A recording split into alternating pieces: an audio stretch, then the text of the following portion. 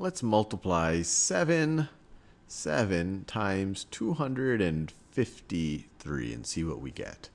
So just like in the last example, what I like to do is I like to rewrite the first, the largest number first. So that's 253 and then write the smaller number below it and align the place value. The 7, it only has a ones place, so I'll put the 7 right over here below the ones place in 253, and then put the multiplication symbol right over here. So you could read this as 253 times 7, which we know is the same thing as 7 times 253.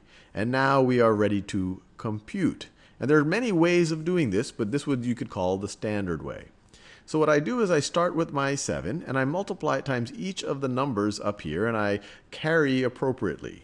So first I start with 7 times 3.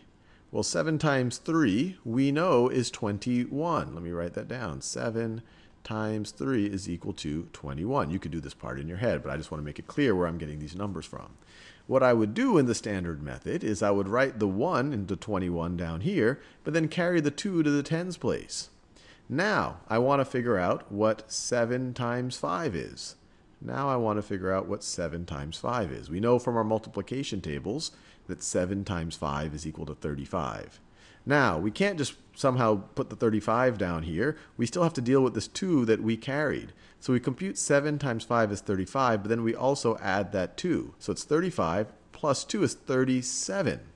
Now, we write the 7 right over here in the tens place and carry the 3. Carry the 3.